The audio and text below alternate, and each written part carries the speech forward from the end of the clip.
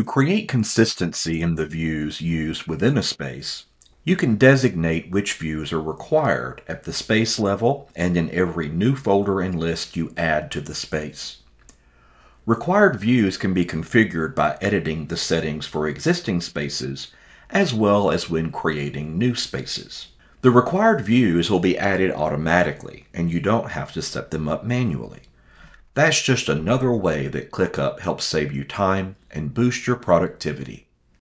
To set up required views in an existing space, follow these steps. Hover over the space's name in the navigation sidebar and click on the ellipsis to access the space settings. Choose More Settings, then All Space Settings on the menu.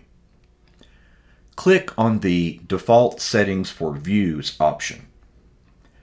Use the sliders to enable the views that will be required in all locations within the space.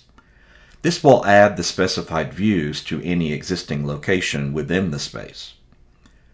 Note that if you disable a view that is already marked as required, that view type will be removed from all locations within the space.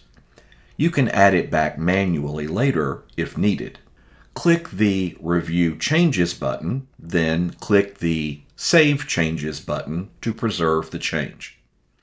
Now, the required views will be added to all existing locations within the space. They will also be added automatically whenever you create a new folder or list within the space.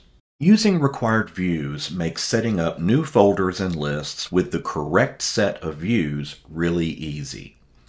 All locations within the space will now be standardized, and everyone will have access to the views they use the most. Learn more about this topic in our Help Center at help.clickup.com and in ClickUp University at university.clickup.com.